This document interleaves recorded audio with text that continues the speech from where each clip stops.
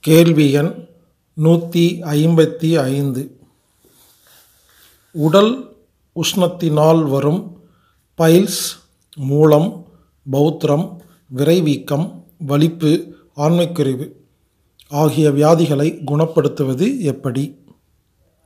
பதில் உடல் உஷ்ணம்தான் பைல்ஸ் மூலம் பௌத்திரம் விரைவீக்கம் வலிப்பு ஆண்மைக்குறிவு ஆகிய நோய்களுக்கு முக்கியமான காரணம்.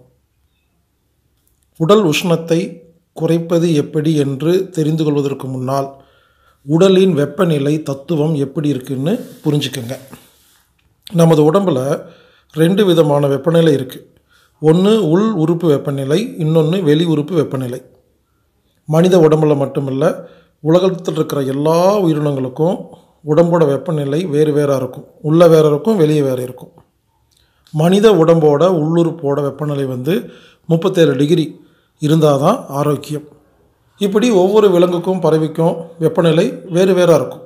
எல்லாத்துக்கும் முப்பத்தேழு கிடையாது.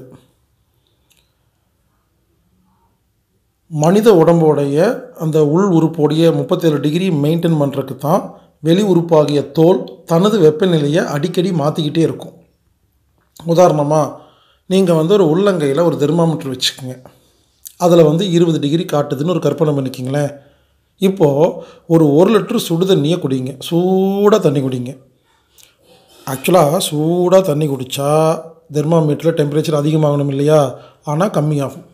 அதாவது உடல் உள்ளுறுப்பு இந்த சுடு தண்ணி உள்ளே போய் நல்லா சூடு பண்ணிருச்சுன்னா தேர்ட்டி செவன் டிகிரிக்கு மேலே போயிடுமா உடனே தோல் என்ன பண்ணும்? பயந்து போய் தன்னை குளிர்ச்சி பண்ணி என்ன பண்ணும்? அந்த தோலை காப்பாற்றும் அப்போது இருபது டிகிரி இருக்கிற அந்த தெர்மாமீட்ரு ஒரு பதினேழுக்கோ பதினெட்டுக்கோ வர்றதுக்கு வாய்ப்பு இருக்குது இந்த டெம்பரேச்சருடைய அளவெல்லாம் மறந்துட்டு நான் சொல்கிற கான்செப்டை புரிஞ்சுக்குங்க. உள் உறுப்பு சூடானா வெளி உறுப்பு குளிர்ச்சியாகும். அதே மாதிரி உள்ளங்கையில் ஒரு தெர்மாமீட்டர் வைக்கிறீங்க அதில் இருபது டிகிரி இருக்குது ஒரு லிட்ரு ஐஸ் வாட்டர் சில்லுன்னு எடுத்து குடிச்சிருங்க. உள்ளுறுப்பு தேர்ட்டி செவன் டிகிரி ஆரோக்கியமாக இருந்திருக்குமா? திடீர்னு ஐஸ் வாட்டர் உள்ளே போச்சா? உடனே குளிர்ச்சியாக இருக்குமா உள் உறுப்பு குளிர்ச்சியாச்சுன்னா இந்த தோல் இருக்கு இல்லைங்களா வெளி உறுப்பு இது என்ன பண்ணும்? தன்னைத்தானே சூடு பண்ணி பிளட்லேருந்து இருந்து குளுக்கோஸ் எடுத்து ஆக்சிஜன் எடுத்து தன்னைத்தானே சூடு பண்ணி சூடு அதிகமாகி அந்த சூட்டை உள்ளே அனுப்பி நம்ம உறுப்புகளை காப்பாற்றும் அப்போது தெர்மாமீட்டர் இருக்கிற இருபது டிகிரி டெம்பரேச்சர் இருக்கு இல்லைங்களா அது இருபத்தி ரெண்டோ இருபத்தி மூணோ போகிறதுக்கு வாய்ப்பு இருக்குது எனவே உங்கள் நம்மளுடைய உள்ளுறுப்பு வந்து சூடாக இருந்தால் என்ன அர்த்தம்னா அதாவது நம்ம வெளி உறுப்பு அதாவது நம்ம வெளி உறுப்பு வந்து சூடாக இருந்தால் என்ன அர்த்தம்னா உள்ளுக்குள்ளே சூடு தேவைப்படுதுன்னு அர்த்தம். அதே மாதிரி வெளியுறுப்பு ஆகிய தோல் குளிர்ச்சியாக இருந்தால் என்ன அர்த்தம்னா உள்ளே அதிகமாக சூடாக இருக்குன்னு அர்த்தம். இது புரியாமல் பல பேர் என்ன பண்ணுவாங்க? தன்னுடைய தோலை தொட்டு பார்ப்பாங்க. உஷ்ணம் அதிகமாக இருக்குமா? சூடாக இருக்குமா? இவங்க நினச்சிக்குவாங்க என் உடம்பு உஷ்ணம் உடம்பு உடம்பு? என் உடம்பு சூடாயிருச்சுன்னு என்ன பண்ணுவாங்க? தவறாக புரிஞ்சுக்கிட்டு குளிர்ச்சியான பொருளாகிய இளநீர் சோத்துக்கத்தாழை வெண்பூசணிச்சாறு குளிர்ந்த நீர் இது போன்றதை உள்ளே கொடுத்து கொடுத்து என்ன பண்ணுவாங்க? உள்ளுறுப்பை இன்னும் குளிர்ச்சியாக்கி அதன் மூலமாக வெளியுறுப்பாகிய தோலை இன்னும் சூடு பண்ணி நோயை பெருசு பண்ணிக்கிறாங்க. மறுபடியும் சொல்கிறேங்க வெளி உறுப்பு சூடாக இருந்தால் உள்ளுறுப்புக்கு சூடு தேவைன்னு அர்த்தம். வெளியுறுப்பாகிய தோல் குளுமையாக இருந்தால் உள்ளுறுப்பு சூடாக இருக்குதுன்னு அர்த்தம். இதாங்க கான்செப்ட்டு ஆரோக்கியமான மனிதனுக்கு தோல் பகுதி சூடாக இருக்காதுங்க. லேசாக குளுமையாக தாங்க இருக்கும். நீங்கள் ஒன்று பண்ணுங்கள் யோகா செய்கிறதுக்கு முன்னால் உங்கள் தோலை தொட்டு பாருங்கள் சூடாக இருக்கும். ஒரு ஒரு மணி நேரம் ஒன்றரை மணி நேரம் ரெண்டு மணி நேரம் யோகாலாம் பண்ணி முடிச்சுட்டு மூச்சு பயிற்சி தியானமெல்லாம் செஞ்சு முடிச்சுட்டு உங்கள் தோலை தொட்டு பாருங்கள் உடம்பை தொட்டு பாருங்கள் குளு குளுன்னு இருக்குங்க. எனவே இந்த யோகா செய்யும் பொழுது என்ன ஆகுது? உள்ளுறுப்பெல்லாம் சூடாகுது. அதனால் தோல் பகுதி குளிர்ச்சி அடைஞ்சு நமக்கு நல்லது பண்ணுதுங்க. எனவே தோல் குளிர்ச்சியாக இருந்தால் உடம்புக்கு நல்லது. சூடாக இருந்தால் நமக்கு கெட்டது. உள்ள சூடு தேவைப்படுதுன்னு நீங்கள் புரிஞ்சுக்கிட்டால் போதுங்க. உதாரணமாக மதியம் பன்னெண்டு மணிக்கு நீங்கள் கிணத்துல போய் கை வைங்களேன். தண்ணி குளு குளுன்னு இருக்கும். அதே சமயத்தில் இரவு பன்னெண்டு மணிக்கு போய் கிணத்துக்குள்ளே கை வைங்களேன். தண்ணி சூடாக இருக்கும். ஆப்போசிட்டாக இருக்கும். வெளியே என்ன கிளைமேட் இருக்கோ அதுக்கு ஆப்போசிட்டாக இருக்கும். இந்த தத்துவத்தை புரிஞ்சுக்கிட்டா நூறு விதமான நோய்களை நமக்கு நாமே குணப்படுத்திடலாங்க. இப்போது இந்த பைல்ஸு மூலம் பௌத்திரம் விரைவீக்கம் ஆண்மைக்குறைவு இது போன்ற ஒரு நூறு நோய்களுக்கு அடிப்படை காரணம் என்னென்னா உடல் உஷ்ணத்தில் ஏற்படும் குளறுபடிகளே ஆகும். அதாவது நல்லா கவனிங்க நான் சூடு அதிகமாகும்னு சொல்ல வரல. அதிகமானாலும் நோய் வரும் கம்மியானாலும் நோய் வரும். அதாவது தேர்ட்டி செவன் டிகிரி மெயின்டைன் ஆனால் நோயெல்லாம் குணமாயிருங்க. இந்த தேர்ட்டி செவன் டிகிரி விட மேலே போனாலும் நோய் கீழே வந்தாலும் நோய். மிகினும் குறையினும் நோய் செய்யும் அப்படிங்கிற தத்துவத்தை புரிஞ்சுக்கிட்டால் போதுங்க. அதனால் நீங்கள் என்ன பண்ணுங்கள் முதல்ல உங்களுக்கு இந்த பயிற்சி மூலம் பௌத்திர விரைவிக்கு ஆண்மை குறைவு இந்த மாதிரி நோய் வந்தால் என்ன பண்ணணும்? சூடு அதிகமாகிருச்சுன்னு அப்படி நினச்சிக்காம ஒருவேளை சூடு கம்மியாகவும் இருக்கலாம் அப்படின்னு புரிஞ்சுக்கிட்டால் இப்போதைக்கு போதுங்க. நீங்கள் என்ன பண்ணணும்? உங்கள் வியாதி உஷ்ணம் அதிகமாகி வந்துச்சா இல்லை கம்மியாகி வந்துச்சான்னு முதல்ல கண்டுபிடிக்கணும். இதை கண்டுபிடிக்கிறது ரொம்ப சுலபங்க. அதாவது அதிக உடல் உழைப்பு இருக்கிறவங்களுக்கு உஷ்ணம் அதிகமாக இருக்குங்க. அப்போ அதை கம்மி பண்ணால் சரியாக போயிருங்க. வேலையே செய்யாமல் அதாவது உடம்புக்கு அதிக வேலை கொடுக்காம சும்மா உட்காந்துருக்கிறவங்களுக்கு உள்ளுறுப்பு குளிர்ச்சியாக இருக்கும். இவ்வளோதாங்க அர்த்தம். அதாவது இன்னும் சொல்லப்போனால் வெயில் காலங்களில் நோயின் தன்மை அதிகமாக இருக்கும் நபர்களுக்கு உடலில் உஷ்ணம் அதிகமாக இருக்கிறது என்று அர்த்தம். இவர்களுக்கு உஷ்ணத்தை குறைத்தால் நோய்கள் குணமாகும். சிலருக்கு பனி காலத்தில் அல்லது குளிர் காலத்தில் நோயின் தன்மை அதிகமாக இருக்கும். இவங்களுக்கு உடலில் உள்ள உஷ்ணம் குறைவாக இருக்குதுன்னு அர்த்தம். இவர்கள் உடலில் உள் உஷ்ணத்தை அதிகரித்தால் நோய்கள் குணமாகும். அதனால் முதல்ல நீங்கள் என்ன பண்ணுங்கள் உங்கள் உள்ளுறுப்புக்கு சூடு அதிகரித்து நோய் வந்திருக்கா இல்லை சூடு குறைஞ்சு நோய் வந்திருக்கான்னு கண்டுபிடிங்க. அப் அதுக்கப்புறமா சிகிச்சை பண்ணிக்கலாம். சரிங்களா? இப்போது சரி கண்டுபிடிச்சாச்சு. உள் உறுப்புகளை சூடு செய்யும் முறைகளை சொல்கிறேங்க ஒருவேளை உங்கள் உடம்பு சூடாக இருந்தால் உள்ளுறுப்பு சூடு பண்ணுமா இல்லையா? அதுக்கு ஐடியா கொடுக்குறேன். அதாவது உள் உறுப்புகளை சூடு செய்வது எப்படி அப்படின்னு பார்த்தீங்கன்னா ஒன்று வாக்கிங் போனால் உள்ளுறுப்பு சூடாகும். ரெண்டு ஜாக்கிங் போகலாம் ஓடும் பயிற்சி. மூணு யோகா ஆசனங்கள் செய்வது.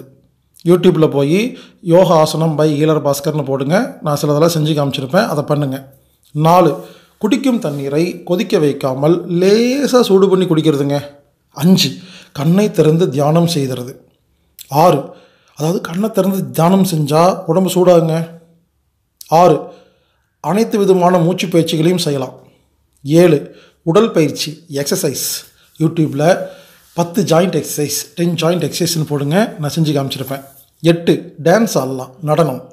ஒன்பது. கண்ணை திறந்து புருவ மத்திய பார்த்து சாம்பவி முத்திரையில் தியானம் பண்ணுறது பதினொன்று தண்ணீரை கொதிக்க வைக்காமல் லேசாக சூடு பண்ணி குளிக்கிறது. பதினொன்று பப்பாளி பழம் சப்போட்டா பழம் முலாம்பழம் பலாப்பழம் துரியன் பழம் துரியன் பழங்கிறது மலேசியாவில் கிடைக்கிற பழங்க. இந்த மாதிரி சூடு அதிகம் பண்ணுற பழங்களை சாப்பிட்றது. பன்னெண்டு உடம்புக்கு ஏதாவது வேலை கொடுத்துட்டே இருக்கணுங்க. பதிமூணு ஜும்பா அப்படின்னு ஒரு பயிற்சி இருக்குது இந்த பயிற்சியை பல ஊர்களில் கற்றுக் கொடுத்துட்ருக்காங்க இந்த பயிற்சியை சென்னையில் கரைத்தே கராத்தா குமார் அப்படிங்கிறவர் ஒருத்தர் கற்றுக் கொடுக்குறாரு.